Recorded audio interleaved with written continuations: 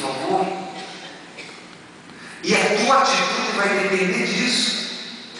Você, como coordenadora na sua cidade, você vai ter que ter um discernimento. Eu dizia e disse, assim que eu cumprimentei a Neuza Samará, Deus me dê discernimento.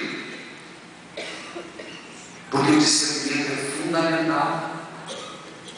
Discernimento de distinguir o que é certo e errado. Formar consciência. Se eu eu não dou.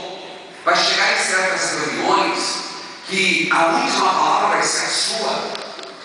Por mais que exista colegiado, por mais que exista conselheiros e conselheiras, eu tenho consciência, alguém me perguntava, padre, como é que você aguenta? Eu falei, olha, eu não, eu não tenho problemas com trabalhar. Graças a Deus.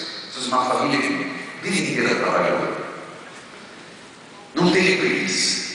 Agora o que me cansa é sempre dar a última palavra. E ter a palavra para tudo. Isso, isso me desgasta, isso me. Por quê?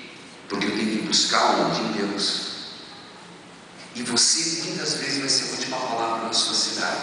Então, por amor de Deus, não, não se baseie na última conversa da cabeleireira, não se baseie na última conversa da não se, não se baseie na última conversa que você escutou da vida alheia, discernimento na palavra.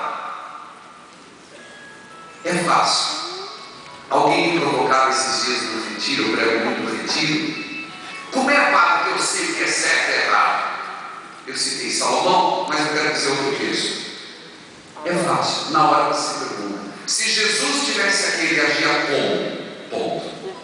Ponto. O discernimento dele. É fácil essa. Na hora que você tiver que tomar uma decisão complicada, consciência de discernimento, ação.